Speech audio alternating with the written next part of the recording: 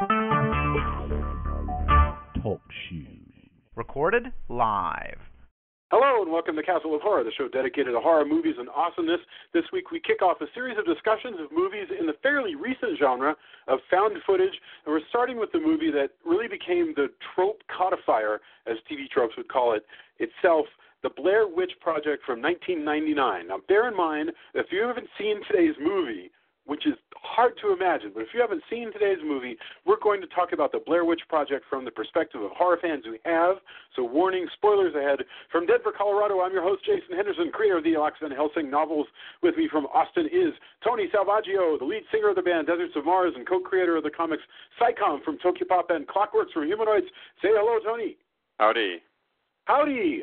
Also in Austin is Drew Edwards writer for Rockabilly Online, creator and writer of the long running comic Halloween Man. Say hello, Drew. Future writer of Fantastic Four from Marvel Comics. Yes, Drew is trying Yeah, to get himself drafted, drafted to write Fantastic Four. You heard it here first. Who knows? I, can, I, I think I think actually I read your Halloween Man. I think that would be brilliant. All right. If, Also, if, if it's not an audition tape, I don't know what is. Precisely. No, it is. It, yeah, you're right. I, that's the that's the dirty secret of Halloween Man is that even though it's Halloween Man, it's actually uh, you call it weird science. I, I think they're really superhero comics, and and that's they're awesome. All right, um, and also in Denver, as always, color commentary from attorney Julia Guzman. Say hello. Hello. Hello. Oh, and of course, as as always, we have to turn to our sponsor. Today's podcast is brought to you by Audible.com. Get a free audiobook download and 30-day free trial at audibletrial.com slash horror. That's audibletrial.com slash horror. You can try, you can look at over 180,000 titles to choose from for your iPhone, Android, Kindle, or MP3 player. We'll have a recommendation in the middle of the show. And if you're a listener and you have recommendations, we want to hear them. Okay, according to Wikipedia, The Blair Witch Project is a 1999 American found footage horror film. That's a thing now, and it wasn't a thing then. It is an American found footage horror film written, directed, and edited by Daniel Myrick and Eduardo Sanchez. The film was produced by the Haxan Films Company. The film relates the story of three student filmmakers, Heather, Mike, and Joshua, who disappear while hiking in the Black Hills near Burkittsville, Maryland in 1994, so supposedly five years before it comes out, to film a documentary about a local legend known as the Blair Witch. The viewers are told the three were never seen or heard from again, although their video and sound equipment, along with most of the footage they shot, was discovered, quote, a year later, and this recovered footage is the film the viewer is watching, I mean, greatly edited. So this film received pretty positive reception from critics, went on to gross over $248 million worldwide, making it one of the most successful independent movies of all time. Having just cost twenty two thousand. cost, yeah, under thirty thousand dollars. The DVD was re- the DVD came out October 26, 1999, and uh, incidentally, uh, it was not released in widescreen, so that sucks. Anyway, so let's get our opening thoughts. Let's go. Uh, I'm I'm excited because I know at least one of you is not crazy about this film. Uh, let's go. We haven't done it this way in a while. Julia, Tony, Drew, and then I'll say anything in the opening, and then we'll. So, opening thoughts. Julia, Blair Witch Project. Well, I think I was the one to suggest this little picture because um I just had a really fond. I have this really bad habit or bad tendency to forget when I saw movies who I saw them with. And Jason will say, "Don't you remember we saw it in this theater and it was on this date and there was this person next to you and all these details." I'm like, I've no, I don't even remember seeing this movie. But this one, I remember. I actually remember the date wrong though, because I was like, "Wait, this is late '90s." I thought that I saw it in college. I guess I was wrong about that. But anyway, um, but I did see it at the college. I saw it at Dobie Theater in Austin. Um, and so I guess that's why I associated it with having seen it at college. And I just remember watching it and thinking, oh my gosh, this thing is scary and trippy and bizarre because at the time there weren't 15 million uh, found footage films because this was the beginning of that era. And um, I just thought it was really interesting and spooky. And then I hadn't seen it since then, since it came out.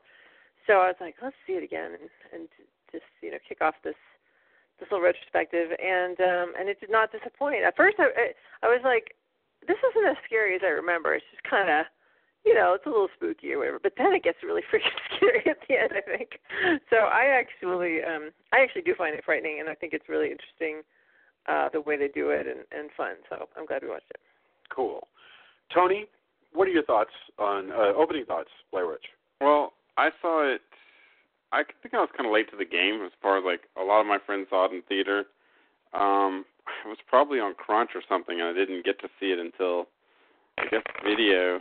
And it just, Just, didn't, just for it the didn't last. I mean, Crunch it came to refers video. to Crunch refers to the period when you're working on a video game and they start making you stay practically all night to try to get it.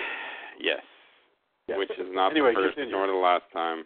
But yeah, so yeah, I I was you know, and I admired you know by then I kind of had it spoiled a little bit for me, you know, but I don't. I am.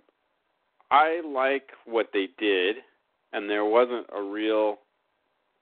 It spawned a lot of really incredibly crap-tastic imitators, and as much as it saved, quote unquote, saved horror or brought horror back, it also kind of did it a disservice because everybody was like, "Oh, well, I know that formula. We should all go into the woods and or whatever and make these movies." Um, I think the marketing was part of the best part of it because I knew people who were like, "No, you have like these people did this." Like they were convinced that this was a real thing. Um, I think that's brilliant. Um, I think for what they did, I, I think it's a cool idea. I think it's well executed for what it is. I really hate all the people in it, and if I knew them, I would be so annoyed. And uh, there's a, I, I I have such a low tolerance for just kind of ignorance or stupidity. Like Uh-huh. when I watch people, I'm just annoyed. Like, oh man, like, you know, you hear about people who wander in the woods with just no plan, and then they have people spend a lot of time, and people get worried about them, and other people have to spend tons of money, tax dollars, going for people who, you know, I don't know. And so I watch this, and I'm back to that, and I'm just like, obviously there's supernatural things going on, but I really, these are people ill prepared. Um, in fact, even the people in Troll Hunter are better prepared. I mean, they've they've had time to think about it because Troll Hunter, you know, definitely came from this, you know, or was inspired by this, or however you want to call it. But uh watching it again this time, I really don't have an interest in seeing it again. Um, although I have an immense amount of respect for the creators and kind of how they did it, and then how successful they were. Um, also, I would be fine if this movie didn't exist, it, just because it created a really terrible sequel that didn't need to exist in a lot of ways, in my opinion. But I don't know. It's successful. What what can you do? You know. Okay, well, that's a that's a valiant salvo in the opposite direction. Drew, where are you going to come from? What are your opening thoughts? The things that pop into your mind as you watch this again, and if you want, you can tell us a little about where you were. Tony was staying up all night making video games. Where were you? You know, tell us your first thoughts on. Uh, Um, well, uh, I was in a bad, bad, bad, bad place when this movie came out. It was only uh, only a few months after my twin brother had been killed in a car accident. Uh, so this this was something that I was actually looking forward to as a as kind of a distraction uh, from that, even though it meant having to stand in a giant line and all all that. Um, I think you know, going going back to the, that particular point in in time, um, we have to think a lot about where the horror genre was, which was this was a few years after Scream had sort of reignited the slasher genre. So like that's what we were instead of the the endless copies of Blair Witch, we were we were then neck deep in endless copies of Scream. So this seemed really, really, really fresh and totally unique at the time. And uh, the only thing that I can I can compare that to is, you know, maybe showing somebody uh, Die Hard for the first time, and then be then being completely ignorant of all the action movies that came out afterwards. Because Die Hard would just seem so so fresh at that Yeah. point. Um, I'll totally agree with you there. Like the freshness and the atmosphere, like knocked it out of the park. Like at, at the Yeah. time. Yeah. I Yeah. I really like liked the marketing for this. I loved kind of the like all the stuff that they put out, the build up, the because you really learned more about the mythology from of of the Blair Witch uh, from the supplementary stuff than you did in even this film, and I loved all of that straight stuff. into that. Tell us. Uh, tell, t- somebody recap for me, because all I Well, like A and E, A and E had like a, a special where they went into the history of this woman Elly Kedward, Kedward, who becomes the Blair Witch, and and it was Which is done quite in like the stuff. right? I mean, there is there there is no historical basis for the sto- for the. No, it's for complete, complete. Although the actors did not know that going in, the actors thought that they were actually uh doing a movie about a real legend, and then they were just going to be. That they didn't think the what you know. Obviously, Well, and I think that's the thing. I think that's the thing, the key when talking about whether this movie is scary or not. I do not find this movie scary when I'm watching it at home. I found it terrifying the four or five times I saw it in the theater. Yes, I saw it that many times because this is sort of like watching a filmed ghost story, like a campfire ghost story, and you need that group tension. And I could see it working at home if you have like a group of people who are all just riveted and like psyching yourself up to be scared. Uh, you but know, it also it- works at home if your house makes weird noises while you're watching the movie. you know, I, I I guess, but look, I guess to me as a home viewing experience, this this lacks something that it, it and it is is a theater experience. Again, it's like watching watching a ghost story that's been filmed, and maybe that's why it didn't impact Tony the same way it did well, other it's people. It's kind of funny because it's not a it's not supposed to ever be on a theater screen per se because it's all filmed don't- with video. don't I guess. Well, no, I guess they have a film camera. Never mind. But uh, Well, but yeah, I, I you know, I think that the the nature of the footage differentiation, though. I'm sorry, is the nature of the footage is uh, it eventually I guess eventually it becomes home video as we keep going through you know found footage. People tend to have video cameras or digital cameras or whatever. But uh that's kind of funny. And you know it I will have to say the first time I saw it it was extremely creepy. Um I think it was made more creepy by exactly what you're talking about like the the marketing of it and the mystique um and the kind of word of mouth urban legendness of it in the you know Yeah. we li- we lived in a point where every single thing wasn't on the internet. So there was a kind of like oh it's on the internet. There's got to be a seed of truth kind of feeling in a way. Like just to just to there wasn't as much of a Snopes kind of thing. Like yeah. like well maybe it's fake but is it? You know you kind of didn't know exactly. And I think Well, I that had that, that kind added of same to that thing that was that, really that, good. that it had that kind of same thing that Texas Chainsaw has, where yeah it's like, oh, is this true? And you know, Texas Chainsaw is not. Texas Chainsaw Massacre is not true, and neither is this. But you know, I knew people that believed it, and you know, it, you know, I didn't quite buy into that, but I thought it was cool that the idea that people. I loved the the the, the William Castle-ness of it, is selling this as a true story. Like that was well, amazing to a me. better frisson of uh, from pretending, even as adults, just pretending for a moment that this is real. Just like these actors who are young adults are, you can tell that they are getting wrapped up in the pretending as well, because they know damn well that the noise is going on outside their tent are noises being made by the producers for them to act off of, and yet even they are getting freaked out. You can tell that they're getting freaked out. There, there's, there's a, and you know, so I think all of us are big boys, and we understand that none of this is real, and yet at the same time, that you know, we can kind of like leave that at the door and and kind of get into, oh, what if they're really, you know, it, it, it somehow somehow it feels real. So yeah, I also had friends going, was there any truth to that? Even though everybody knows darn well there's no way that there is.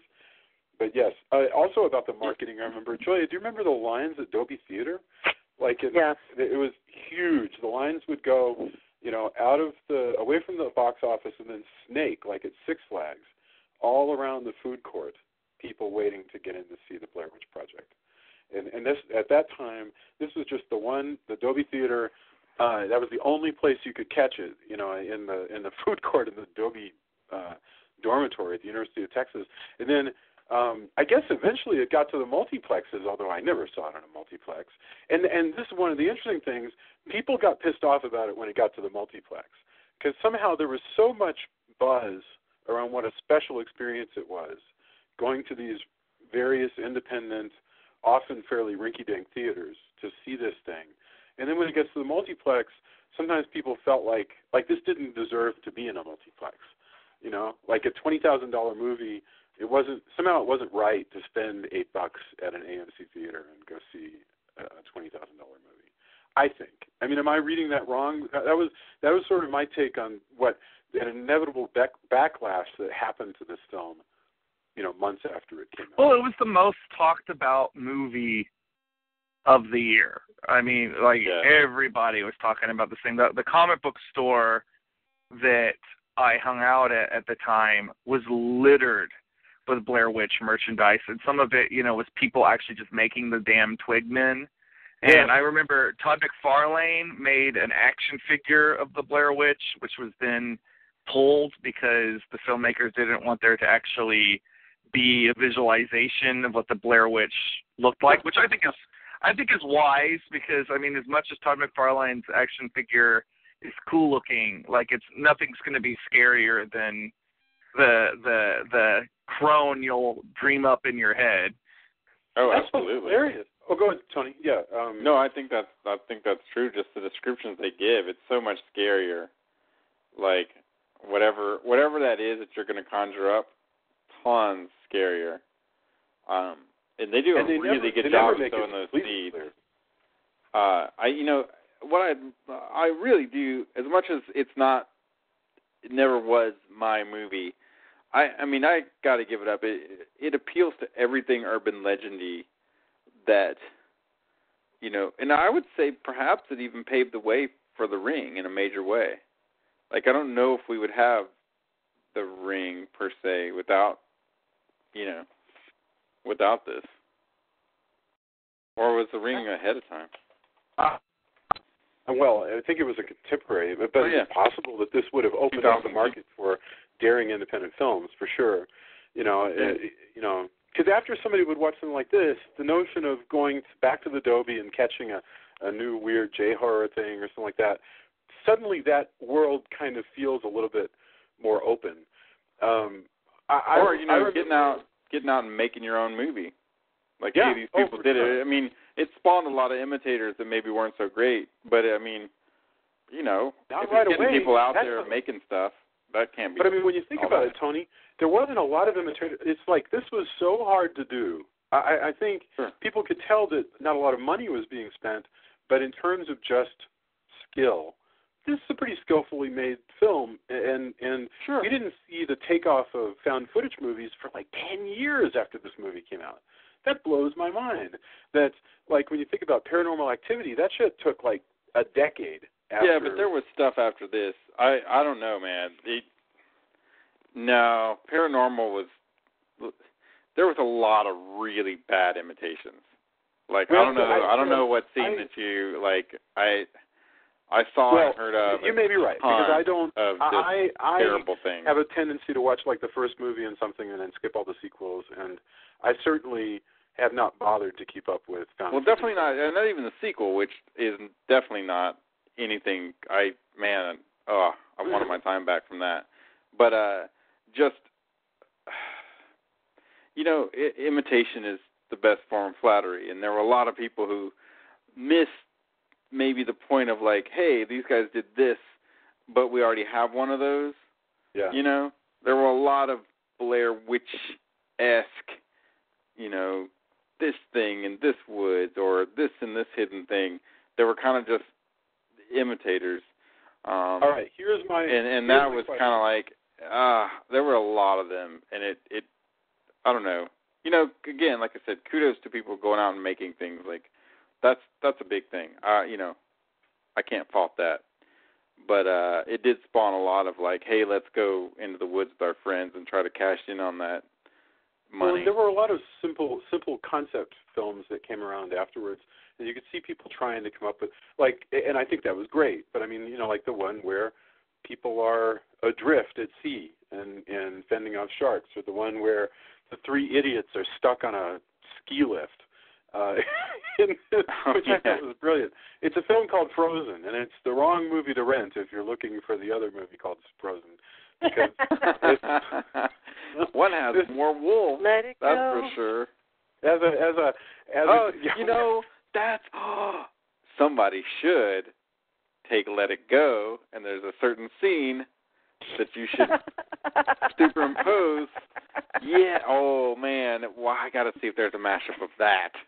That is a that that is a film that has perfect way in more my head. compound I'm fractures than the Disney animated feature. Or in the alternative, if only we knew an animator who could take the Frozen characters and animate them to have to do the scenes from. Be in, stuck in the ski lift. Let it go. Ah! you just say, put a little Anna Anna Anna. Oh man, that would take a lot of work, but that would be freaking hilarious too. If anybody's out there, these are we're just throwing this. This we're throwing out there because I just want to see this. This is No, manna from heaven. Yes. This isn't this Uh, isn't like Fire Shark where you know if Fire we make Shark it, I'm gonna be mad. Um, but this is yes, I would love to see either the song to a certain scene, and if anybody's seen the, you know, the Yeah. stuck in the ski lift Frozen, you will know that. Or I would like to see the Frozen characters reproduced as the uh, horror movie. Frozen. You know, it, we, we had a we had a season Go. pass to one ski resorts around here last year, and I thought about that movie all the time. I was thinking because you always try to like get you know as much skiing in in a given day, right? And and try you're like, okay, they're gonna shut down the the lifts in in eight minutes, so I think I can get one more run, you know. and, and in that movie, what happens is the lift operator, if I recall, he like gets drunk and he gets he gets replaced with another lift operator who thinks the lifts are empty and he shuts him down and leaves those dumbasses up there. Okay, anyway, Which I'm sure anybody who actually operates a ski lift is probably like, they're like, that would never this is not how it works. So witches. Yeah. So anyway, to get back to the Blair Witch Project, um, okay, here's my question, and this is related to this opening section we're doing on the marketing of this movie. I remember having a conversation with somebody who was lamenting that this was the way Hollywood would go from now on, that now that they've figured out how to make super cheap movies that just blew people's minds, the day of the big film was over. And I was like, that doesn't make any sense at all. That, that, Yeah, that's- obviously we haven't gone that direction. well, I mean, you know, I will have to say that it did we lead have- to TV. like TV certainly was like, yes, this is Right. sure. Rea- absolutely. Reality TV, which uh, you know happened, and maybe uh, and maybe the growth of reality TV has something to do with this film. I I don't know. I'd have to look. Well, back at it. reality reality TV kind of was already a thing because MTV had is uh, the real the world. real yeah, the real Yeah. world. Yeah. Yeah, but it certainly like it didn't it didn't film didn't turn all this way, but man oh man, I could deal without reality TV. I would I would have been a lot more interested in Survivor if there had been witches. Oh hell yeah! The real You know, I think they did try a thing where they like kind of seeded it with like, is this supernatural or not? But it didn't. Since everybody kind of knows, or, or is skeptic, just skeptical enough. Well, and then but then you didn't. have like the ghost, like the ghost hunter shows, like the what is it? The Oh. um. Yeah. Ghost Hunter Uh, totally Ghost Hunters totally takes from this. Like any any of those shows, I I can Yeah. say we we can conclusively those would not exist without this. Yeah. certain certain aspects like the rattling of the camera and the and the sort of flagrant use of day for, of like night vision and, and stuff like that that's unnerving to look at. And the and the sound effects of the actual people behind the camera just going, Yeah, you the know, like the panting and the you all that kind of stuff. I mean, That's something Although what's yeah. amazing to me about this though is because it's been a while that I've seen it, but I've seen other found footage movies.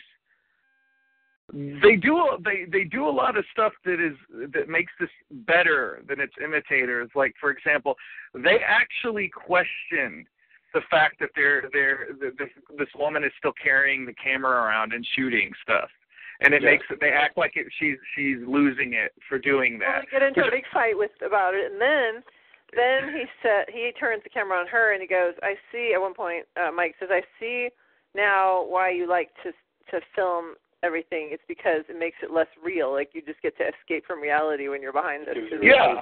And Yeah, which it which is better than a lot of the, the the movies that copy this Yeah. do. They don't give you that that sort of explanation of of why you'd keep filming because it doesn't actually make sense that anybody would still do that. Uh, the other thing I think that this does that is a thousand times better than its imitators is they actually let you have a good look at everybody. You know, like all of the characters. There isn't just like one character that's stuck behind the camera the whole time, and you never really get a good look at them. Like because you actually see all of these people, they feel weird and I'm not weird, uh, uh, real. And when their lives go down this weird path and they're in peril, you actually you're not so detached that you, there's zero emotion there, which is I feel like um And let's run down the people and the and the technology they carry because and the fact uh, that they are real. I mean, it really is real. Because you've got so you've got the girl um who is carrying her. Well, you guys can say what specifically kind of so camera. it is. Heather, there's Heather, and she's the girl, and she's the lead, and she's carrying a video camera. Just yeah, a- and just she's just small video camera. documenting the the making of the documentary. Basically. And the video camera has its own sound. And by the way, how grungy it looks just instantly transports me back to the 90s. I mean, it's amazing watching all this, all these people in their flannel and their jeans and they're chain smoking in the rain, and it's you know, and it's it, it, this thing is just like a time machine. It's really, really nuts. You know, especially the ugliness of video. Jeez. You know. Okay, so so there's then so then you've got Josh. um Josh who has the the dad right. No, No, no, he's got the camera. 16 He's got the Josh camera. has a silent, no Oh, yeah, yeah, sound, yeah. 16 millimeter. Uh, I can't remember if it's color or black and white. It's black and white, Okay, he has a he has a no sound, 16 millimeter black and white. black and white camera, and Really he's solid, And really he's borrowed good. he's borrowed that. He's got to get it back. And then the DAT, the digital audio um, ta tape, Yeah. is the sound recordings so that they have sound to go with the black and white camera. Right. And Mike's carrying that, and he's got to get that back as well. Um, right, because none of them are rich enough to have this equipment other than the the camcorder that uh, that Heather carries. Right. Anyway, but so so the reason this thing seems so real and feels so real is because it's very real. I mean, they just they got these actors, but they didn't give them scripts. They just gave them and they gave them the story, the legend, and they thought it was a real legend. So they sent them forth to interview people. They the, the directors planted people, townspeople in the town to be interviewed without they weren't actually tell, real. And sometimes the people just made stuff up. Sometimes Okay. they were given stuff. And before we go into what they tell them about, because that is really what makes up Act One, I want to take a moment here to recognize our sponsor, if you don't mind. All right. For you, the listeners of Castle of Horror, Audible is offering a free audiobook download with a free 30 day trial to give you the opportunity to check out their service. We're very happy about the sponsor and we're interested in what audiobooks our listeners recommend. This week's recommendation is from me. Uh, it is an audiobook from Audible that I loved, The Birds and Don't Look Now by Daphne du Maurier, read by Peter Capaldi. Okay, so this is two great horror stories, one of which we have already done the movie version of on this show, The Birds, and the other that is a killer horror movie that we hopefully may get to one day, which is Don't Look Now, by Daphne du Maurier, one of my favorite authors, read by the current Doctor, Peter Capaldi. So that is my recommendation of the week. Not just random doctor. The Doctor, the Doctor of Doctor Who, yes. I'm just saying, Um, some people might not know that. Former punk rocker Peter Capaldi. Awesome Uh, you speaking try- voice too. Yes, Good for oh, audio. He, he, he reads Daphne du Maurier really well too, because she has this sort of very modern kind of 1930s feel. It's it's wonderful. He, he's great on it. Uh, anyway, you can try uh, The Birds and Don't Look Now, or pick another audiobook. Download your free audiobook today, go to audibletrial.com slash horror. Again, that's audibletrial.com slash horror for your free audiobook. Thank you. All right. Okay, so what I'm saying is that these guys are thrown into this situation where they've been given some general directions, and they're they're going to have various drops at the points that they're supposed to reach. So they'll have more directions there. They get some food, but they're getting less food every day from the directors because the directors want them to get really pissed off at each other, and they don't know like they don't know what's going to happen, particularly um whenever there's like scares like uh, they wake up suddenly in the night. A lot of times it's just the directors like coming up and like one time it's they shook the tent or they'll be doing something else. And so it's all this stuff is actually pretty real as far as them feeling really frustrated. They got lost several times. They don't there's no camera crew. There's just the three of them and they had walkie talkies that they're communicating with the uh, production staff with and um they uh would occasionally just get lost and then they'd lose them for a couple of hours And, and, so- and much so of the action of the authentic. film, much of the the drama of the film is about these characters getting lost. Yeah. Now, Tony, you were saying this is the thing that bugs you the most about the movie, right? Is is there? Yeah, I mean, again, like I just, I don't know. I have very little like a lot of horror movies. Not every horror movie, of course, but I have a hard time feeling sympathy for these people. like, it's the this. Hey, we're gonna go do this. They start out seeming like they're thinking about something, and you know, plus and it's been parodied a bunch of times. The, the shot where the girl's starting to cry and she's really scared, and you know things have gone crazy, and you know, but the whole like a bunch of idiots in the woods fighting, like for as long as they're arguing and being kind of jerks to each other and stuff. I just again, you know, I didn't see it. I didn't see it in the theater, so I didn't see it with the crowd of people who were all kind of scared and like. But Mhm. you know, when when I think about camping or I think about going to do a project or whatever, the level of preparedness of these people was like, what the hell are you doing? Like, Yeah. And Well, and they just have that it book never, about never surviving in the woods, but they never look at it. well all of that. Like a book isn't the same as having actual things that let you survive in the woods. Right. Like, Well, they yeah, haven't you have a book. You know, They- why aren't there more fireproof matches or any well, I number just of think of the stuff I take when I'm camping. You know, I mean, I don't know how good it would do against a ghost or a witch, but No, well, there's bring him a obvious- machete, bring him a I think machete or an axe or something. No, but if, yeah, you're right. They don't have a weapon, but I think they do okay otherwise because they do have water, they do have food, they do have a compass, they do have a map, they have the the can the the tent. It, the only thing is that, and they do have ways to make fire, but remember they say that they don't want to do that anymore because they're attracting They're being they're being bad guys, harassed the ghosts. Yeah. by something. Well, and- the and- thing the thing that, that that sends me over to siding somewhat with Tony is that he kicks the map into the river. That's really petty. That's really goddamn stupid. And I, I, you know, I you know I, I'm a big aficionado of the Friday the Thir- Thirteenth series, and I grew up in around the wood in and around the woods. So I just think of you know two, both of those things. You're already in a, a textbook horror setting, the woods, and you know, like I, you know, I- if I were to go, you know, deep in country the way they did, you know, I certainly would not be kicking my map. Like he's the one that really You're talking about dooms them. Yeah, Mike- he's Mike the one that really the- dooms them. I'm not sure. I kind of believe Mike though when he says. So you're, you're absolutely right.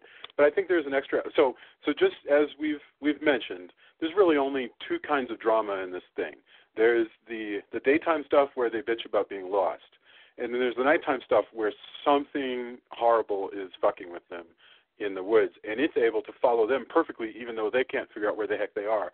So that means to me, there's uh, this is not a stretch at all. All right, I know it's going to sound kooky, but this is a magical wood. They that their that map's not going to help them. Their compass Yeah, isn't going to help Because them. they come back, because after walking south all day, they still come back to the same log. It's not they didn't screw up. Either the compass is not is failing them uh, for some reason, right. or the woods are changing.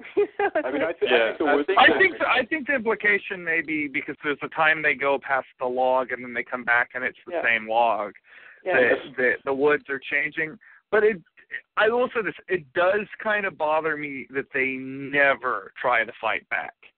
They are just so cowed, and I, I, I, you know, this happens in a lot of horror films. This is certainly not the the only one that does it, but that's just not who I am. I don't care if it's like a ghost or a witch or whatever the hell this is. But how do If you how do you the- suppose they're supposed to fight back? I mean, it's not like they could physically attack. I They don't know. take shots. Do an Well, impromptu exorcism. one of the legends, one of the legends is a guy who somehow kidnapped people, like, and but these are kids without the knowledge. So he got seven kids at one point yeah. somehow.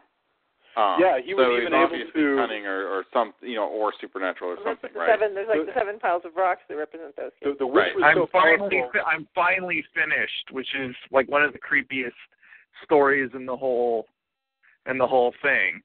Okay, and so what do we learn about that guy? So that, Well- that's one of the stories that gets told in the in the town. Um, go ahead, Tony, and they and they haven't. Well, they also it ties back in. I mean, that part ties back in. That's the other thing is it's kind of confused on where it wants to head with that, and maybe that's part of the nature of it is this confusion. Well, the the story, the story is the story is back in the 40s, there was an old hermit who lived up in the woods, and they all thought he was really odd. And then, you know, d- during this one summer, all the kids started to go missing. Yep. And then one day, the guy comes down from the woods and says he's finally finished. And the uh the police go up into to his house and they find all these children dead piled on one another. And a uh, uh the guy confesses and says that there was a voice in the woods telling him to kill these kids. And the way he would do it is he couldn't bear one of them to watch him while he he killed one of them. So he'd make one stand and look in the corner while he killed one of them which is important because it gets repeated at the end of the movie I'm wondering how he makes them do that. Yeah, well, he's magic. That's the thing. Yeah. He has the ability to control, to confuse. I think he's like the shadow, and he has the ability to cloud men's minds.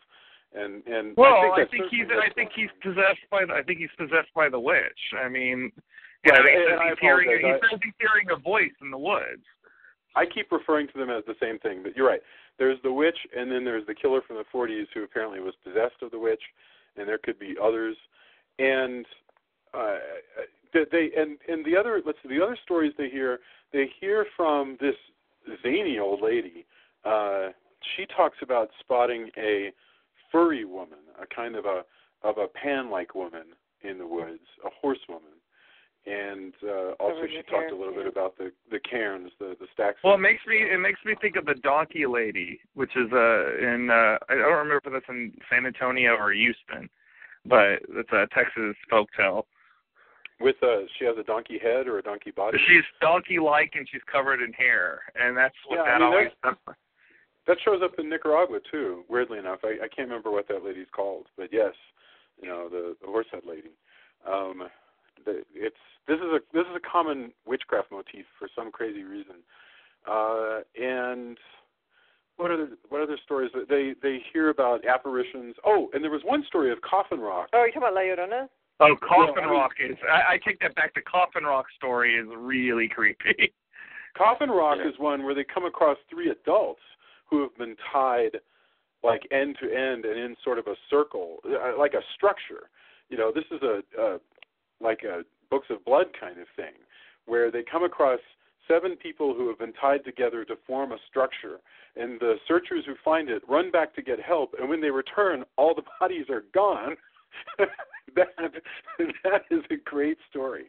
But here's what's funny is that you know you don't. I, I remember people just bitching, just like coming out and going, "Man, I didn't see anything," and blah blah blah. But let me tell you, when they were in the movie, they were scared. You know, when Oh, yeah. stories were being told, Definitely. you know, and like like they do this neat thing in this movie where you know people are like packing and getting out power bars, and then it'll be a cut, and then it's dark, and they like woke up in the middle of the night, and there's like fucking crazy noises going on outside their tent, and I'm scared. Everybody in the theater was scared, and I don't care what this macho jerk says in the lobby afterwards about how that was stupid, nothing but a bunch of rocks. They were scared, and the, you know that that's amazing to me when you because you've been camping or you've been lost in the woods or you've been somewhere where you didn't have any control yeah and you know how that feels. You can put yourself in that position and you don't need big special effects and you don't need, you know, you know like yeah uh, ghosts coming out of screens or whatever. You just need the spookiness of it and feel and putting yourself in that place, which you can in this situation because well of this how is really the it. Well, I, I, it's also like I said though, it's the go, it's the campfire story aspect of it because Yeah. Yeah. yeah if you're scared into a moment, a, a lot of us will deny it later. yeah And I do think there is something about that group. It's almost like group hypnosis when you're in a big group. Because this is the one movie I will say, like a lot of the times, watching a horror movie is more frightening if you watch it by yourself, alone. This is one uh, a movie where it's the the reverse. Like if you can just get a group of people who are transfixed by the the the spookiness of this, you will all be scared out of your wits. You know, like like whereas if I'm by myself, I will do what that guy is doing. I'll be like, well, there's nothing here. It's just a bunch of twigs, and you know, people. Yeah. You know, I I mean, you know, it makes me sad. Like even when I watch it by myself, it makes me sad at the very end where she's saying, you know, goodbye to her mom, knowing that she's going to go and die. Like I'm not, you know, but you know, you'd have to have pretty low empathy not to to Sure. react to that. But um, there's like so I have less empathy once I see them just like the way that they bicker amongst themselves, and I guess But they not bicker totally like around, normal. but These aren't like assholes in a in a slasher movie where it's uh, like Yeah, like cartoonish. These Like people I said, they, this they is bicker real. like that, normal people. is real. They actually Yeah. made them like they. do- It's not fake. I mean, they actually got really pissed off at each other. At one point, she actually does bite the guy because he's pissing her off.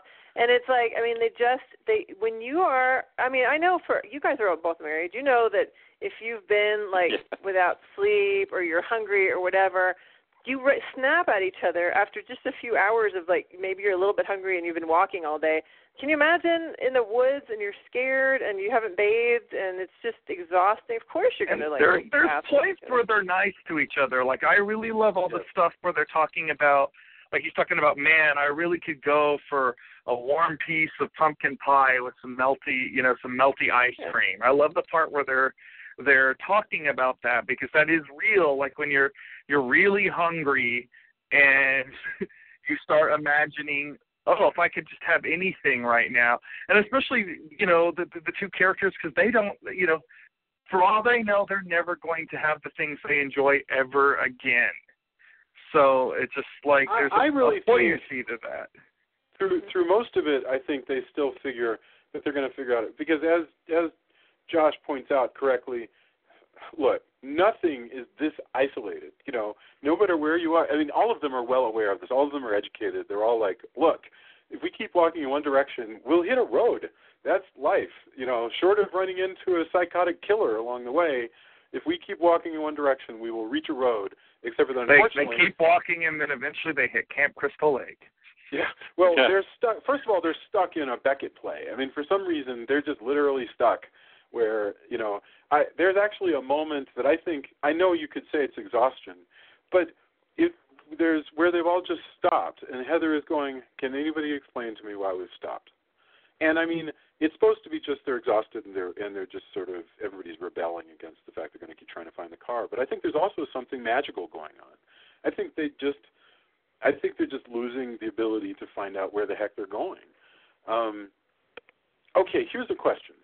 Todd McFarlane wanted to make an action figure, and we all know what that would have been like. You know, big, distended. well you can find it nowadays on google within like a minute or two So here's my question, though. To me, Todd McFarlane or his his interests move in sort of one direction of horror, a very sort of expressionist, grand guignol horror that is is really out there and extreme. And then there's this other tradition that's sort of the the Val Lewton tradition of keeping stuff off screen. And it's interesting to me that that this movie is in a fine long tradition of that, of not showing you things. Um, you know, and and we've seen some other examples. We didn't, we haven't watched Cat People on this show, but we've talked about Six Sense, which is very much the same way. Yeah, in this one, I, I've said, I think I said last time that I hated when you don't see the thing. But in this one, I don't hate it because it's not. There's nothing that you don't know what it is. You just don't know who the killer is. But we wouldn't have known anyway because it's not going to. Unless it's Josh, it's not going to be anybody that we know. So I wouldn't I'm glad they don't show the killer. I'm glad they don't show it. Did you just say unless it's Josh? Yeah, well, we you said earlier that there's that that theory that Josh is actually the killer at the end. There is such a theory. Yeah. Uh, there's all kinds of crazy Of course, theories teeth- about this I mean, movie he'd have to have pulled out his own teeth, but whatever. He doesn't have to pull out his own tooth. He just has to come up with a tooth. to find some bloody teeth. Huh? That could be a. Are you kidding me? That that tooth, that bloody tooth they find, could belong to a badger. I mean, Yeah. it's, No, it's a person tooth. Well, it couldn't be a badger. It could be something Oh, else. there's there's all kinds of crazy theories about this movie. That's one of the things Yeah. that's kind of awesome about it is that the mythology around it. Like I, I, uh, the one that I heard a million times was if, if they just had not moved the rocks, they would have been fine. Sure. Like it's really Yeah, moving the rocks is what what so moving the rocks is what sent the witch over.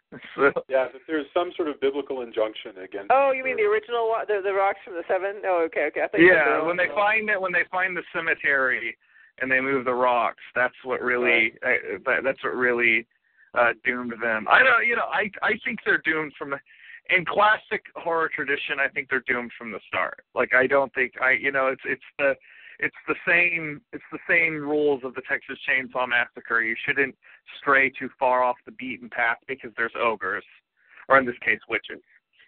Here's why I don't think that it has to do with disturbing the rocks, because night one they just walk around uh, after act after a beautiful first act that involves being in a different world, an opening world where they're in the town. They go into the woods. Night one, they go to sleep. They wake up. Josh says he heard he's heard cackling. That's before they find the cairns, the rocks. When they find the rocks the, that next day, um, yeah, they do knock one of them down, and they continue to get harassed. But later on, when when Mike goes, "Hey, listen, we didn't light a fire the first night and nothing happened," that's not true. Josh heard crap because he told them that. It's just that the other two were not disturbed by it. By the way, I'm shaking, not shaking, but I, I get shivers myself right now when I think of this business of they wake up in the middle of the night and they hear voices in the woods. It's just amazing when they step outside. There's a- especially the creepy little children. yeah, there's a point where they hear, hear children laughing outside their tent. The, there's a point where they step outside, and of course they're looking around, and it means they've got lights on their camera, right?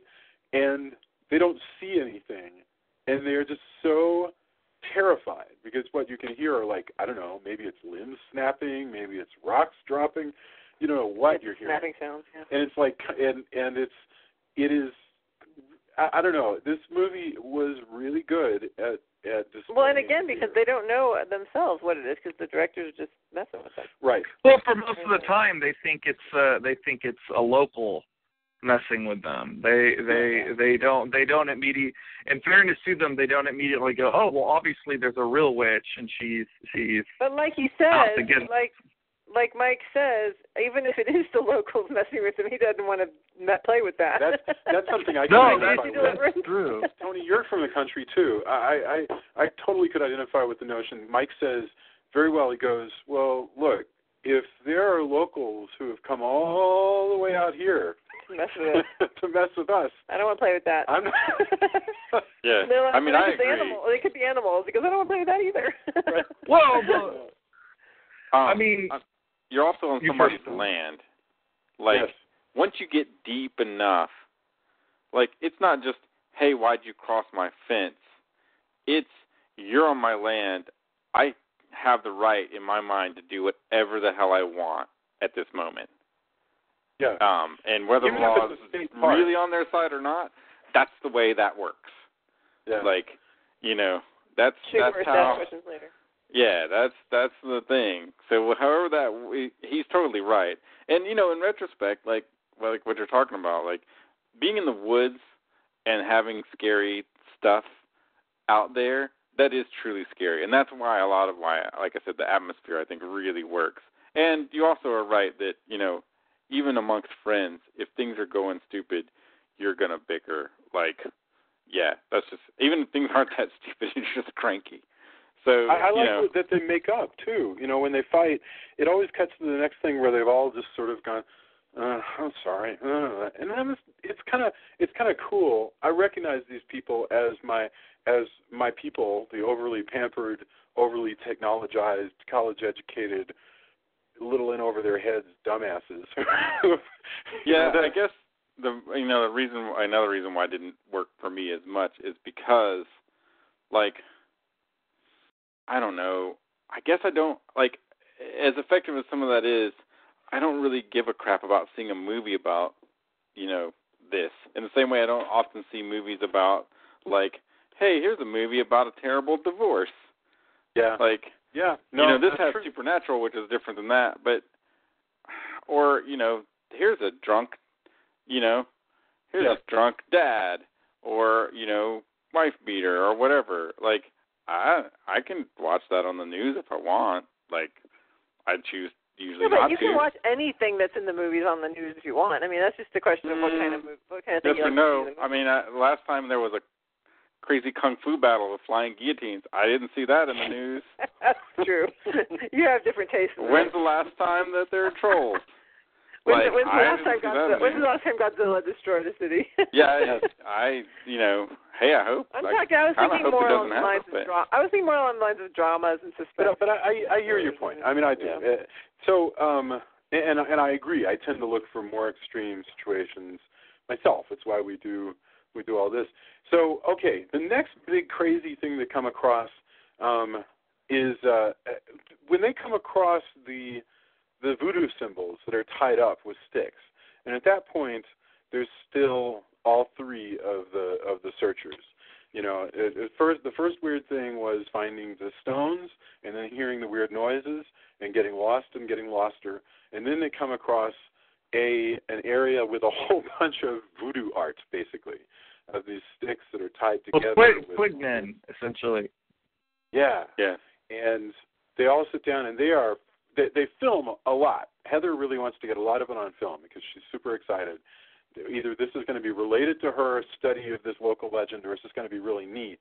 She's documenting the whole thing because, as with a lot of documentarians, she doesn't really know what she's going to wind up with when she gets back to the studio. She hasn't talked about this, but this is what's going on: is you know, hey, I'm going to take 30 hours of footage. When I get back, I'm going to put something together. You know, so finding this might be interesting. But they also get this sense that they're being watched because when they leave that, they go, "Okay, we're leave," like really loud, like like in case you're watching us, we're not going to be here no more. Um, that's Yeah, I think that's, that's. I mean, if you, one can also surmise that they've seen Chainsaw Massacre. You know, Yes. that they don't live in a vacuum, and that you know, especially once she starts finding things in the bundles, that Oh. is scary. And if you, So the funny thing well, if that that was is, realistic, that I mean, if you Yeah. found that, that's time to to do whatever you can to make the compass so work so again. Tony. That- uh, like I said, George, make a before you but or something. That just like when they find the tooth, I'm like, you know, they don't know that it's a ghost, or you know, for sure at that point, you yeah, know, you know or something if horrible has happened to your friend because that's his yeah, friend. his make friend. a spear. So if someone tries to pull your teeth out, you stab the fucker. Make yeah, make weapons. Yeah, I agree. But, uh, There would the funny be- thing there would about- have to be weapons, do- like- I know, like I'm not saying that I would oh, a 100% survive a horror movie, but I would go down swinging. Like like if if the Blair Witch comes after me, I'm gonna poke a few holes in her. Yeah. yeah. Well, Anyway, they may but be let me tell you, let me tell you about the thing, the yeah. bundle, the bundle of sticks. Um, they put, you know, again, the the direct, the production staff just puts it outside the outside the tent. So then they come out and they they find this. And so she tosses it because that's just what her instinct is to do. But of course, she needs to open it. So they had to, they had to communicate to her that she needed to go back and get it and open it so that Yeah, she could do it. It happened it happened a lot funny. later. Yeah. Yeah, um uh yeah, that this this bundle that is so we know that something is tying things up. You know, so the, to Tony's point about the Texas Chainsaw Massacre, the voodoo tied together things that was something that was in the Chainsaw Massacre. I mean, that was actually you're, you're right. You know, hanging on the porch, they had built like little little bone men. In that case, they had taken you know human bones, chicken bones, whatever, to make these little things. And here it's it's the same thing. The the whoever is doing this voodoo stuff in the woods has made little totems from trees. My favorite line is Mike is sitting there looking at these things while while Heather uh videos them and and Mike you know he's just sitting you know with his hands sort of on his knees and he goes this isn't rednecks. No redneck is this creative. I thought that was the most brilliant line. Not true by the way. There's plenty of creative rednecks but that is a great line. It is it is so funny and um that's sort of when they decide you know we need to get out of here. But yeah soon thereafter the, it's it's like the the bad guys whoever they are keep trying to dare these kids not to believe that something really fucked up is happening you know? So that by the time josh disappears they kind of try to convince themselves Well, there's one point where they wake up and there's slime all over Josh's backpack, Yeah. and that's kind of the indicator that he's that he's. Which I thought the slime, like that's like pushing. That's that's really like cementing this in supernatural because that's like pushing this in like like Ghostbusters yes territory. ectoplasm yeah Of course, it was actually KY jelly, so that's a whole other kind of movie. Yes, yes. Uh, the um, uh, so ectoplasmic KY jelly, which probably gets warmer when you blow on it. Which is uh, yet another whole whole other movie. Yes. um, I'm sure. Wow. There is there is Ghost there I think there is an actual. It's like the erotic Blair Witch or the like. There were several of those of course because there was there a whole. Of course like, there is. uh, They The Blair some Witch some who was it? Some thing I don't know if it was Cracked. Somebody covered like here's all the, uh, you know, all the triple X versions or at least risque versions of the movie after well after it was out, and uh it was one of those you know haha this is but there were more than a few. So there you go. How can there not be? I guess. So, uh, all right, Th- that really get, gets us to the final part of this because, as we mentioned, one morning Josh has disappeared, and so we're left with just two characters, which is Heather and Mike. Mike the peacemaker, Heather the hard-driving leader. I mean, the, the you know, because Josh was always sort of the snarky, um, second in command almost. Josh, Mike- Josh to me almost seemed like a, a a guy that had wandered in from Clerks. Yes, yes. And I love the way he talked. I love the fact that they call another man. I love that the, this is the most sexless trio that ever existed. There's no flirtation. There's no nothing between these people. Um, they're just all on a gig, you know, and and and working on it. Honestly, I believe that a lot more in this case than I do any movie where people are out in the woods for four or five days and then they have sex. I'm like, really? That's just ugh. Nobody's bathed. It's like prickly and hot. it just never never feels like a particularly sexy Yeah, I mean, any me any sort of sexual assignation which were to happen here would seem out of place. Honestly, Yeah. you know, and uh, I remember thinking that watching Lost, I was always like, no, guys, no. Lost was different. I mean, they were all clean all the time. They're know. not though. They're in purgatory. It keeps them clean. Well, that was you find that later. Okay. Spoiler for Lost. I'm sorry. Um, but okay. So anyway, they wander one night. They, they wake up and they. Uh, this is the. They they hear Josh yelling one night. The next night they wake up, they hear Josh yelling again. This time they really feel like they can hone in on where they hear his yelling coming from. And the movie wraps up very quickly at this point because they follow that voice, and this time they come across a house in the woods that is one of the scariest fucking houses I've ever seen. It's this hideous, falling apart, two story trap. It is just this this crappy old like probably I don't know it, it, like fairly recent because it's a really shoddy house uh in in the woods. At least this is the way that, that it appears. And I have no idea what this place was. I don't know if they built it from scratch to look like this or if it was actually an abandoned old house, you know, with with busted sheetrock and all that stuff. But it's hideous and they're following Josh's voice because Josh is yelling to them from inside the house, yell, yell, yell. They run up the stairs, and and here some really interesting sound happens because Mike is carrying the now carrying Josh's 16 millimeter film, and Heather is carrying the camcorder, and so what that gives you is this really weird effect where um oh no no I'm sorry I apologize. Heather's carrying the the 16 mil, and and what that means is because uh, Mike has the audio recorder, her voice sounds at a distance from the video that we're looking at. So we're following her, but her voice sounds far away. And then as she comes closer to Mike, the sound sort of syncs up better with the image. It's it's really wild, and it's a it's a very disorienting, very cool effect that's going on here. You know, and that's another thing from found footage. I don't remember that kind of bonkers, like just playing around with the te- technology. I don't remember seeing it very much. That that that kind of of technical confusion going on. Well, Um, other people just didn't do it as well a lot of times. I- Like, I, I mean, guess- the fact that they did the sound design, like that's one of the other parts that when they spawned crappy uh wannabes, like that's what makes it a crappy wannabe is it's not as nearly as technically proficient. yeah. You know, it's just Yeah. like oh, there's no like sound design taken into account. The ones who do it well, it's it's really cool. Um, Yeah. The ones who did it poorly just left the mic on on the video camera, and that was that. You know, Right. so Right. And then you I would have gotten two. You would have gotten two sounds of her yelling. Yeah. So they've thought really carefully about how this is going to work. You know, with the the sound coming from from far off. and oh, so And there's also honest. the little handprints on the the wall. yes, yes. Drew, do you want to? Who wants to walk us through the the the the final the final bits of the? Well, I think that should be Stone. Julia. This was her. Julia, Was her show. tell us what happens with Heather uh, as she as she continues to try to follow Mike around, who's chasing after Josh in this house. Right. So we've heard Josh yelling. Um, for uh, uh, and so they fo- they're following the sound of his voice, and they run in. They find this house, and they go in, and they're hearing his voice, and um, and it's uh, it's actually done with.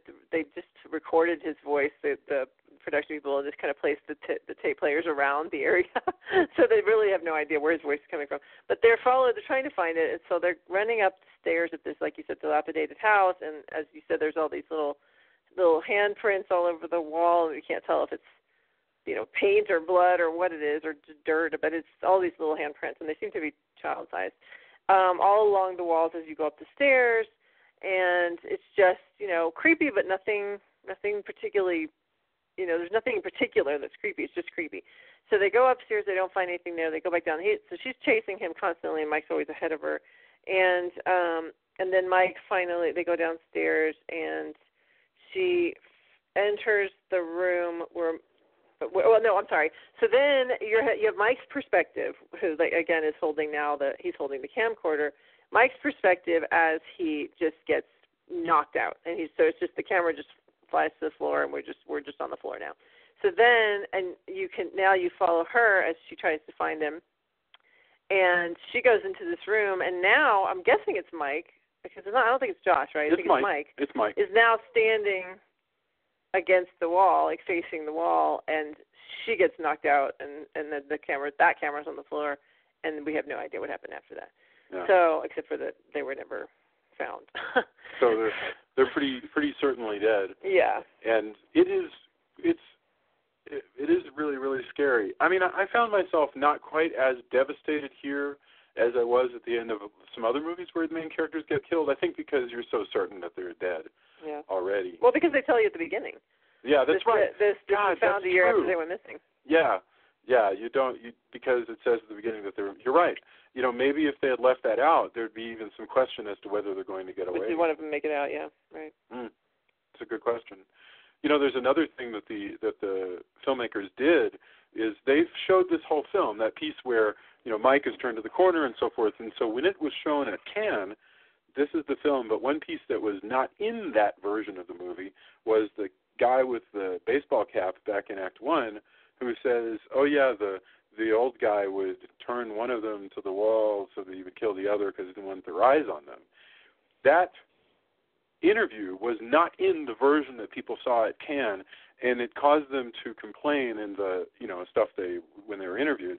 They said I didn't get why Mike was turned around, and this was one where the directors decided that rather than be really obscure, weird, or symbolic or anything, that they had an idea in mind, and so they went ahead and put that legend in so that it would pay off at the end. And it, um, and that works really well. It worked for me, you know, totally works for me. You're like, oh yeah, yeah, yeah. In the instant, you remember that story. Um, and I don't know what I would have made of made of it if if I had just been given this image of Mike turned to the wall without having heard the story in the beginning. I think it would be a totally different feel. So that's that's the Blair Witch. Uh, what else? I'm trying to think of it, if there's anything that we haven't Well, hit upon. the since we'll never do the sequel, and I watched it for research, I would like to, to chime in about that. And I know Tony absolutely hates that movie, and I don't think it's very good. Um, but I do think it's interesting considering the scores of imitators this movie has. That when they came time to do a sequel, they opted not to do yeah. a found footage movie at all, which actually makes why- me give them a little little. Even though I think it's a terrible movie, I, that makes me give them a little bump up because at least that they were they were thinking outside of their own little their own little cigar box. As as far as what they were laziness? I mean, do you think this is too damn hard, and they were like, we're not doing? No, it I actually think it's lack of laziness because they tried to do something different, which was comment on their own fan base. Unfortunately, you know, they didn't end up really saying anything interesting about their fan base, but that's what they were clearly trying to do was was you know show kind of a snapshot of of horror fandom at at the at the time that Blair Witch came out. Um no, I actually think that that's a, a thousand times less lazy than doing, you know, a, another. It, it didn't result in a quality film, but it's it's. I, I said it gives. I give them a slight bump up for trying to do something a little a little meta and a little a little different than than what they what they could have done. Well, they could have done what Paranormal Activity does, which is you want to make a the same movie. Just make the same damn movie once a year for the next ten years until people stop paying. for And there's, you know, that's an approach. I mean, that's essentially what most slasher movie franchises sure. do. But those, those have the very thing that we've been talking about—the fact that you never actually see the witch. You would have to do that to to turn this into a real franchise. Um, yeah. Because, like, to, to to have a true horror franchise, you need the sort of charismatic villain to hang the yeah. the series on, which you know you, you would have to see The Witch, and uh, it would sort of rob it of its power. It's funny. I actually, before when we were gearing up to do this, I had imagined that there was a Blair Witch three, and I what I was really remembering was terrible video games. But uh, uh, in my mind, I was like, oh yeah, there's like a third Blair Witch, and then I went to Vulcan Video. No, there's not a third Blair Witch. Huh. Yeah, no, well, and and I had read that as late as 2009, supposedly they were still thinking of it. Now, uh, this movie came out, you know, going on, you know, over 15 years ago. That's uh, if if it were produced by Sony, you'd have at least one reboot by now of a new a new Blair Witch. Uh, it would be almost kind of a moot point because there are so many imitators of varying uh, levels of, of Boy, quality and ingenuity. Boy, that's that's terrible to think of, but it's totally true. It's like you know, could they like I love Kay Scarpetta novels, right? The the Patricia Cornwell novels about the medical examiner, and they're wonderful. But the fact is, when they began, it would have been great to make a movie because who ever heard of a medical examiner solving solving crimes? But now, after CSI, it would seem like a CSI ripoff. And Well, I mean, there's a couple of things. Well, I mean, dude, you and I have encountered that. We made a Yes. steampunk book when there wasn't any steampunk, yeah, and then when by the time it freaking came out, over a decade later, after we'd written it, people were like, "Oh, it's like that steampunk crap that I've been seeing way too much of." Oh, and it's like Steamboy. We're like, "Ah, we made this before Steamboy. We made this before people just put gears on a hat and called that cosplay. You know, no offense right. to people who really do the, the real deal stuff, but it's reached a point. I mean, there was a Justin Bieber steampunk video, like wow. you know, the, the for better or worse in the community, it's a thing that's kind of like, you know, once once a popular pop icon is taking note, you know, if you're a new thing, you kind of run into maybe being an also ran. But also, So, like by the time there's so many of these things, it's like it's like an urban legend that's been told. Like part of the buildup was, could this be real? By the time we're Yeah. jaded enough, it's like having your uncle start off and telling you like, "Hey, there was a scary guy," and then some people, and then one of the kids turns to him at the campfire and goes, "Oh, did he have a hook? I bet he had a Right. hook. Tell us more about this guy who has a hook. I heard this when I was three. You know, like And and so that that leads you to wonder. Is that person 13 that you're talking about? right? Because we have a lot of- probably, but you know what i'm You know exactly what I mean. Then, like by the time you've seen enough of these, you're kind of like, I mean, by the time we come to one of my least favorite of all of them, uh, Poughkeepsie tapes, you're kind of like, okay, I guess this is where we're taking this. Yawn. Well, the question Yeah. is, can you get into it? I mean, I'm fine with somebody going, "Oh man, this is just a James Bond ripoff." If I end up getting into it, and it's an exciting movie. I'm all right. So the question is, if there were a horror movie and you got into it, and and you know, once I'm past the initial whatever kind of riffing this is, to go, okay, I'm into it now. You know, I, I loved Haunting in Connecticut, but a lot of people felt that that was a ridiculous ripoff of the Amityville Horror. But once I was in it, I felt scared.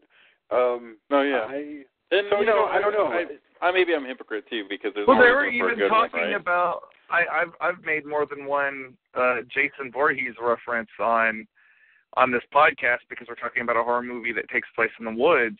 They were talking about doing a found footage Friday the Thirteenth movie. Um, I would be kind of against that because I think you know to be properly Friday the Thirteenth, it has to be this sort of EC comics, you know, gleeful ghoulishness about it, and and find found footage works best when it's a little little more subtle.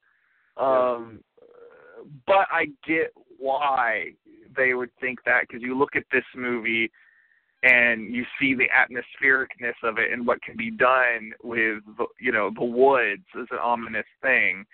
So Yeah. I I get it. Um, I'm glad that that movie's not going to end up happening now because that would just you know as a Yeah. fan of the series that's not what I that's not what I want. That's just not what that's for. I mean, in the same sense that that you know um, uh, the oh wow, we have a lot of comments in the chat room. Um, it's it's just not what it's for. You know, like you Friday the Thirteenth. At least later on, you really want to see that Savini artistry, and in this case, you know, this is this is more along that that uh, cat people sort of line of just creating a a frisson. So, um, Tony, what are they asking about in the chat room? We have. We have Um, we were talking about the ambiguity of everything at the end. Yes. And was it supposed to be ambiguous, or did it just fizzle out? And I think it's purposely ambiguous. There, there Um, are several things that are. I mean, another was uh, in the bundle with the tooth. There's something else in there that she just goes, yeah, and she throws it away real fast. So there's a lot of blood. There's a And his hair. That's his hair. yes, and something that looks like it might be a tongue, but it's probably not a tongue because we hear Josh yelling later. Um, If that's Josh. Yes, it was Josh. It Could be Josh, just recordings of Josh from earlier too. It could just be a demon making Josh sounds. Yeah. I mean, this Yep. thing is magic. Man, demon, you're jumping up. We have ghosts and witches. You're jumping all the way into demons. Man, Jason. Well, you're exactly you're exactly right. It could be a witch, but then, look, when you have a witch, that's a lich, and when you have like an immortal witch, it's basically a demon. This sounds like a song. This sounds like something that should be in a in a. this is this is a, the the best song Roky Erickson never wrote. I I am down with that. so, um, all right, we should uh, we should probably get our final thoughts about the Blair Witch Project, and then go on to endorsements. So, uh, I think we started with Julia. Mhm. Julia, do you have any final thoughts for us on the? Bla- I know that we probably could talk about more, um, and uh, so it, we're we're happy to keep talking about it on the on the Facebook page if if there's stuff that we just failed to comment on. If so, I Yeah. I, I feel like um the things that there are to complain about in this film are things that there are to complain about in life. I don't think it's stuff about the making of the film. I think it's like when we talk about, you know, the people are idiots. Why did he kick them out? You know, people do stupid shit, especially like I said, when they're mad and they're tired and they're just delirious and they're hungry and whatever, you know, dehydrated. It's like you don't think rationally. So I think when we complain about the things, the choices they make, I really feel like that's all you can. tell. I mean, you see the news stories constantly. People dying, like, you know, people. Uh, this this this couple died a mile into their hike in the sand dunes because I guess they fell or something and they didn't have enough water, so they gave their water to their kid and the kid survived. And you you can read that and be all judgmental if you want because you might have made different decisions. But the fact is, it happens in real life to real people, and they didn't mean. Oh for it to yeah, well, when in Yeah. Hawaii there was a guy who was like lost, and he was I think he was from Austin, and I kept we were at the area. My wife and I were around the area where he got lost, and you know things happen, and you get delirious, and you know disoriented. Yeah. I can understand. However, I do know that no matter which way you walked, there was only one way he could have walked, and if you looked at the sun, you could tell which direction it's moving.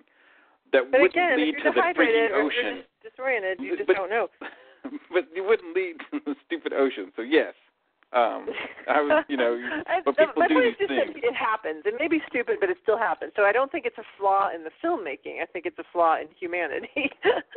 and so, but the um, I think it's just a brilliantly made film, and I think it's just um, so original, given that it was, you know, the first one of its kind. and um, I'm just delighted that it exists and that it, uh, even if it did spawn some awful things, but it spawned some great things too, and I think it's it's awesome. And uh, I was thinking when we were talking about the reality TV, it's actually Survivor and those kind of things that also are probably No, a of lot. course, of course. Yeah. Yes.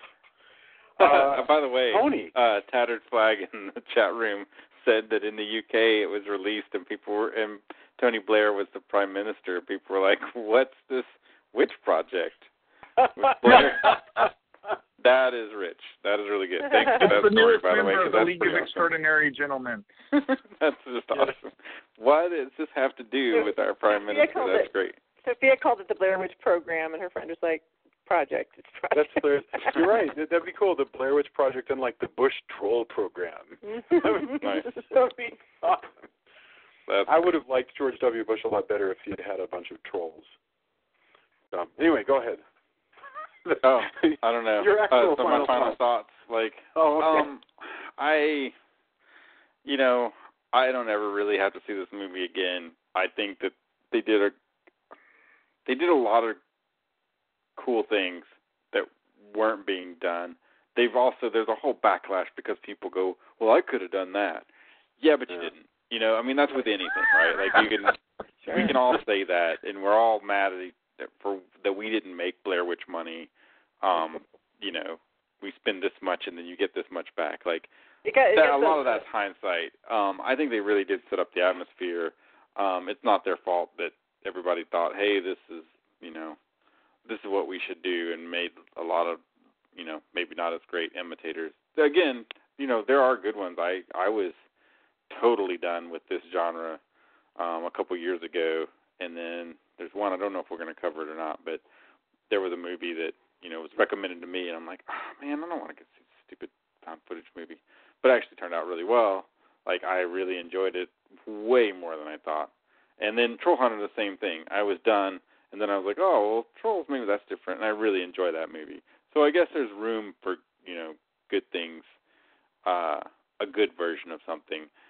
Uh, it didn't. This movie didn't work as well for me as it did for my friends, and I think it probably goes back to what you were talking about, where alone maybe doesn't work as well. Plus, I'd kind of heard the hype, and I was okay. You know, it's going to be this thing. Um, it is what it is. But I, you know, I can't fault the the filmmakers. A lot of that's more on me than it is them. Um, as far as being this savior of, you know, bringing horror back around, uh, it's the same to me as Scream. Like it did and it didn't.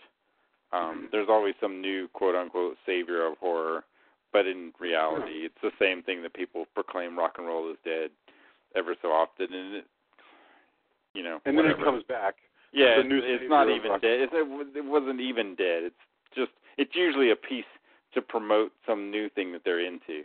Rock and roll Yeah. is dead, but have you listened to this other band? You, Right. Whatever, you know. But uh, you know, I'm glad we covered it. It definitely isn't my favorite genre of film, so uh, I don't know about the rest That's of the all, all told, Tony. But, that's uh, pretty positive for for a genre that that you that is not one of your favorites. I mean, I think well, that's a, I mean, this is we're seeing the the beginning of it, and you know, I'm, you know, Yeah. I, like I said, I think a lot of the backlash is, well, I could have done that. You know, great. Yeah. You know, we all kick ourselves for that. You know. I, I think that's true. Well, I mean, this movie made it to the Guinness Book of World Records for most for the biggest um ratio of money spent to money made because it yeah, made fantastic. yeah Get it what you made can. uh eleven they made like eleven thousand dollars per dollar spent basically. That's No man, get again, get what you can, like as Yeah. an artist or or you know, a person Well, I wonder who how does much the commercial actors art, got, like. I don't know the first thing about how the actors were treated. I promise we'll come back next week, and if we have that information, we'll share it. Um, Drew, final thoughts. Blair Witch Project. You know, I I echoing Tony's comment about Scream.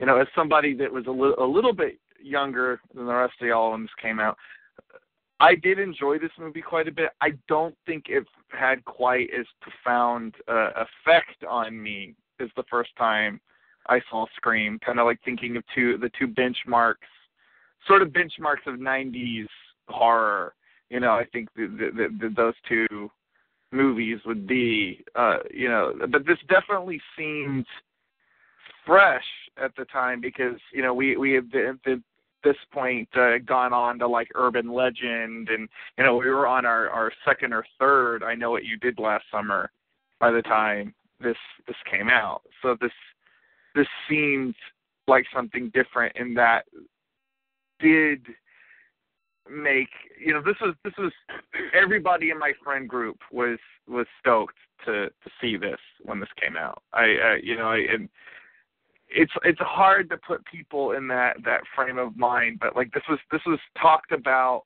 all summer long the way i'd imagined like the the exorcist might have been talked about when it was new you know just it and it's been a long time i think that i've seen a horror movie that's had that much hype around yeah. it you know like you know, there aren't really horror movies that are quote unquote summer movies anymore. You know, like the, the way this was. You know, and you know the, the the blockbuster style of filmmaking. You know, this was released dear you know during during the hot months of the year but it was you know it's a low budget movie and that's that's also one of the things that's great you know i love it anytime um an independent thing makes money because it's you know speaking personally it's so goddamn hard out there to compete with big corporate money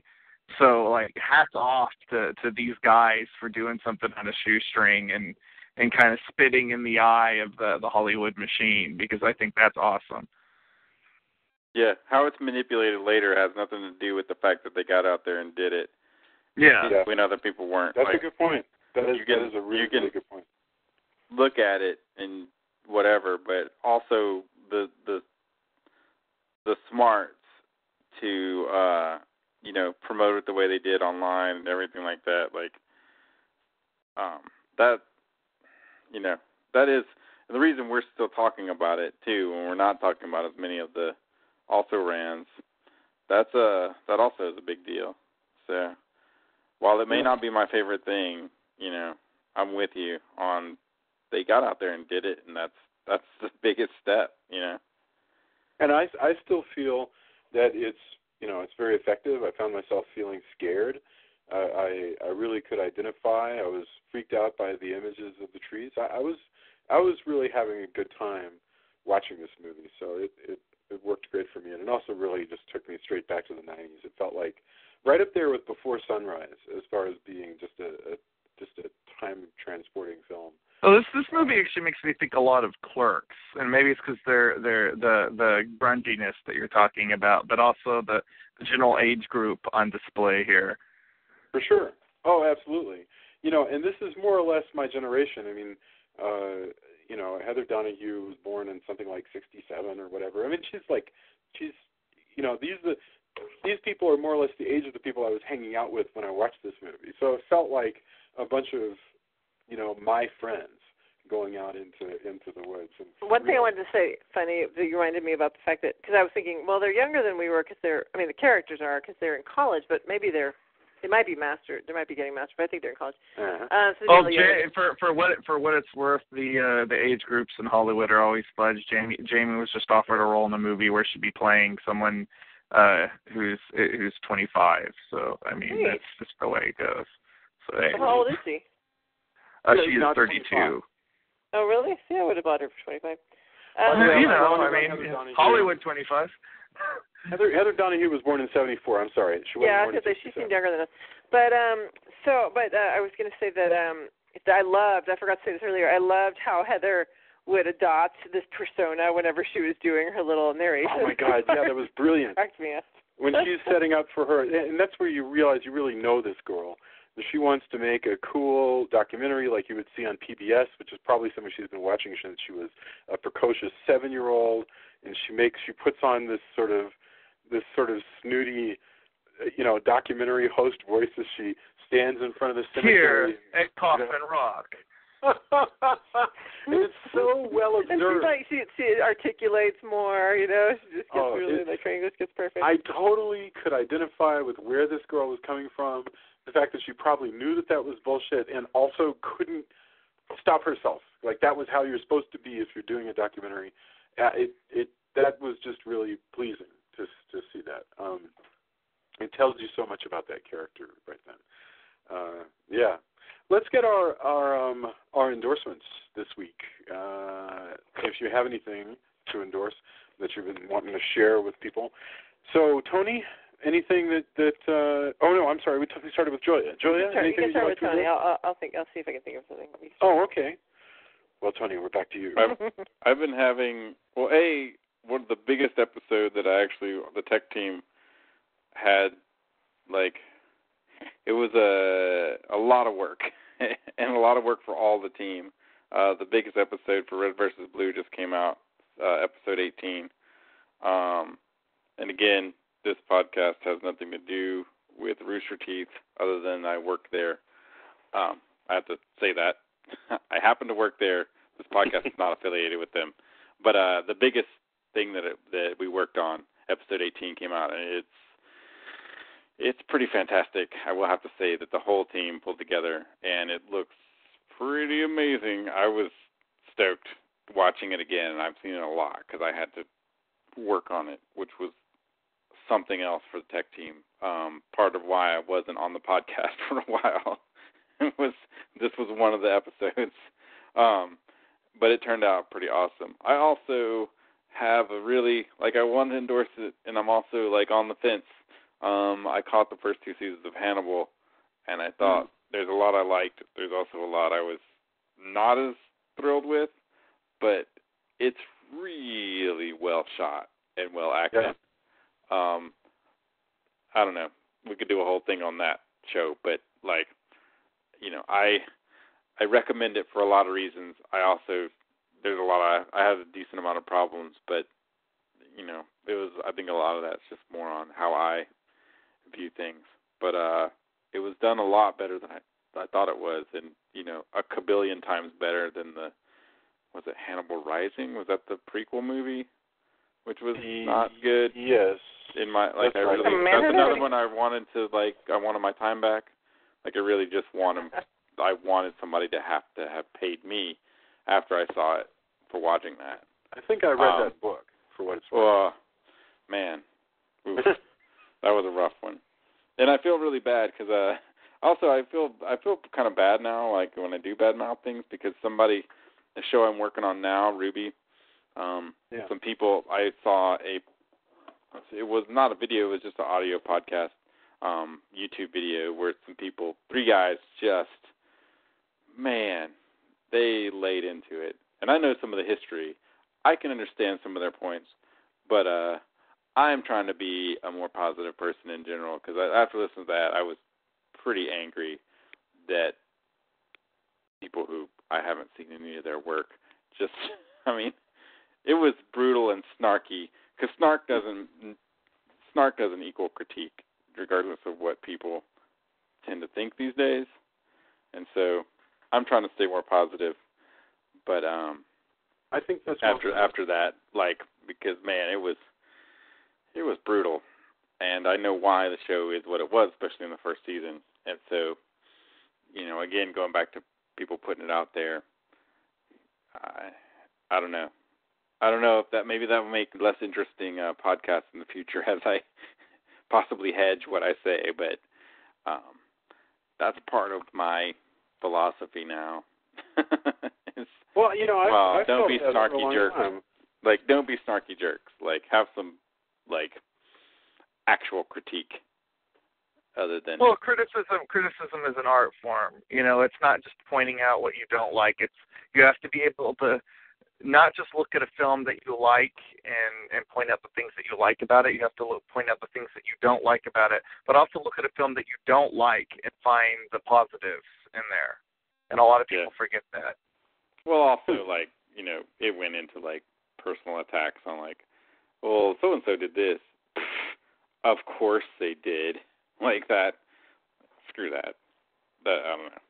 Anyway, that's a different sorry, but yeah, I like I said, I have a a double-edged sword on Hannibal, but I think the positives outweigh any negatives I personally had, and it is really, although it is super brutal. Going back to what we said, like, hey, you know, I can hear hear things on TV and stuff like that. Like this, this definitely pushed some of my buttons as far as like, ooh, I, I don't know if I'm down with this, the way that this gore plays out. Um, I'm surprised they said it was on NBC. Like, Yes. oof, I don't know how they showed that, unless the the version on Amazon is uncut because Well, I've I've been it's shocked at the rising level of gore on network TV for a number of years. Because remember, CSI can get away with a shitload. I yeah, it's mean, it's horrific in a way I was not expecting Huh. at all. Um, that was surprising. wow. Well, there you go. Thank you. Okay, Julian, do you have anything to endorse? I don't know. I can't really think of anything um that's been particularly. I mean, I don't even. re- I don't know. I think I feel like the w- the weeks are just kind of. I can think of one thing that you probably will want to talk Oh, yeah? about. We were watching the new series from uh, Bill Hader and um, Fred Armisen. oh yeah. Well, the problem is I can't say what I want to say without spoiling it. So I just got to leave it as as documentary now is awesome and you should check it out. But I can't say what I would want to say without totally spoiling the episode. In fact, that I think you should talk leave it there. Yeah. Just it is Yeah. So uh yeah, Yes. just just documentary now. Yeah, that's a good one. Thanks for Yeah. reminding me. Okay. Drew, did you have anything to endorse? Yes, I do. Uh, there was a sale on Comixology this week for uh, the League of Extraordinary Gentlemen, and I picked up all three part of Alan Moore, Alan Moore's Nemo trilogy, which is set in the universe of the League of Extraordinary Gentlemen, but follows Captain Nemo's daughter, who also happens to be Pirate Jenny from the three uh, Three Penny Opera Oh, uh, and it, it's it's three particular comics, and it's uh, it takes place over. There's the first one, which is involves uh, them taking the Nautilus to the South Pole and dealing with uh, lo- things of a Lovecraftian nature. There is the second one, which takes place during World War II, but instead of uh, Hitler, uh, we we have uh, Charlie Chaplin's character from The Great Dictator, and uh, his council, which is made up of characters from uh, different impressionist German films, like uh, like Berlin's been designed by Rotwang from Uh, Metropolis, and Dr. Caligari has his his uh, Sleep SS shock troops, and uh, then the third one uh, takes place in the Amazon, which is a mashup of it has you know elements of Creature from the Black Lagoon, The Lost World, but most importantly, we have uh, Dr. Goldfoot as the bad guy who is uh, creating. Uh, Nazi Nazi robots in in the Amazon, Nazi robot women in the Amazon rainforest. that sounds so- fantastic. Um, I loved this series. I I did not care for for the adjacent series as much, which was was Century, which was the League of Extraordinary Gentlemen in the 20th century. But I thought this was closer in style and tone to the two preceding graphic novels, and it was just so much fun. The art is great. I, you know, there are so many references to different things, and I, you know, I had to get immediately, you know, start googling the stuff I didn't, I didn't get, but there was a ton of stuff that I, I did, and uh, you know, essentially, you know, creating this whole Captain Nemo dynasty that that that Alan Moore has just that you know adds this other you know this element of like a legacy superhero you know that we've seen a lot in in, in uh, DC Comics is that there's always always must be a, a Captain Nemo raiding the the seas and I I think that that's that's kind of an awesome idea and uh, you know, I, I it was one of those things that after reading it, I just immediately felt charged up, like I really wanted to write my, something myself because it's Yeah. so weird and so crazy, and and so uh, wonderful. And I, I the sale is not going on anymore, but I would say it is totally worth it at full price uh, if you like the League of Extraordinary Gentlemen or uh, you know Ten Thousand Leagues Under the the Sea or you know just you know anything lo- along those lines. I think you would get a uh, a kick out of. I also should plug uh, Jamie's show uh, this coming Sunday. Uh, they're playing at the Gypsy Lounge. It's an early show. The show starts at six and they're going to be playing with the, the Frantic Flintstones, which is a legendary English psychobilly band. So they are, very, very lucky to to get on this bill, and it's it's got a lot of local uh, rockabilly and psychobilly bands are on this bill, but it's it's kind of like the creme de la creme of local bands as far as that genre goes. And I, I think it's going to be a lot of fun. Like I said, that's the Gypsy Lounge this Sunday. If you're in Austin, you should come by. The show starts at six. Oh, very cool. Very cool. Uh, all right, my endorsement actually this week, and, it, and it's hard to choose something, but I just got this amazing book. First of all, Julie and I went to uh, to an exhibit at the Colorado History Museum that was dedicated to toys of the 50s, 60s, and 70s, and they were showing a lot of things like these these amazing Aurora model kits and uh, you know things dedicated to that was monster, so great in the monster craze. So that's another uh, endorsement on the way, which is if you're in Denver before October, before late in October, uh, then um, uh, you should stop by the Colorado, Colorado History Museum and see the toy exhibit. It's really really cool. But anyway, I got I was interested in the horror craze, and I got this amazing like brand new book just came out from TwoMorrows Press it's called Monster Mash: The Creepy, Kooky Monster Craze in America, 1957 to 1972, by Mark Voger. Monster Mash, and this thing is a coffee table book with lots and lots and lots of pictures and interviews and observations about just the age of the American monster. You know, with all the and it so it has all these sections on things like, you know, Dark Shadows collectible books, Aurora model kits, um, eight millimeter Castle films that were these you know 15 minute boil downs of the Universal monster things that and you know I remember you would check those out from the library. So it's just an insane uh, trip down memory lane for for anybody who has either grew up in or has a passing interest to the monster craze of the um, uh, what I would call the late 20th century, the mid to late 20th century. I mean, I was born in the early 70s, uh, and so I was a little past 72 but I have such a fond memory of everything here. So this is a, I love it. Monster Mash. Definitely should check this out. I will post it. Um, so oh oh, and one last thing that we all got to mention is um, we are definitely going to be doing a panel, a Castle of Horror live podcast, our first ever live live podcast as a panel at the Colorado HorrorCon coming in October uh, Halloween weekend in Denver and we'll have more details about that as it comes along. But if you want to watch the live Castle of Horror podcast show, uh, will be sometime. I don't know what time. I don't know what movie we're going to do, but that's going to happen. So uh, we'll. Well, and I'm going to be there all weekend. I'm, I have a table, and I'm going to be selling yeah. uh, Halloween Man comic books because uh, this is what I am doing to celebrate the 15th anniversary of Halloween Man, and I'm glad that we got uh, Castle of Horror uh, wrapped into that as well because this is it's yeah. just going to make it so much more special.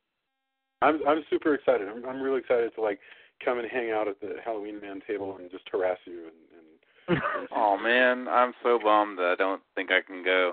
Like, oh yeah. I hold out hope that you can figure it out. It's only a ten hour drive.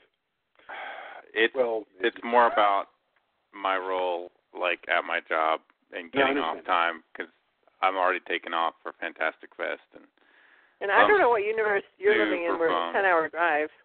It's a 12 hour drive, and then 12 hour drive to Dallas, like 15 hour drive to. Oh, that's right. Okay, well, whatever. Uh, all right. Anyway, don't give up hope yet. We will we will figure it out.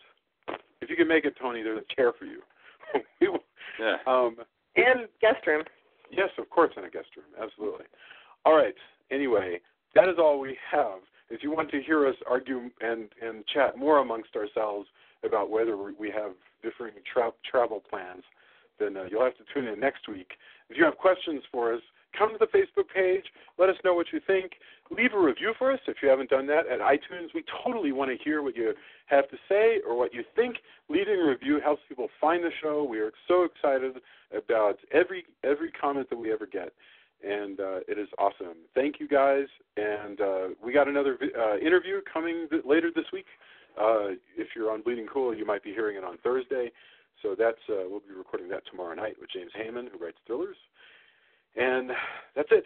Thank you, everybody. We will see you on this show next week. Bye. Night. Henry. Later.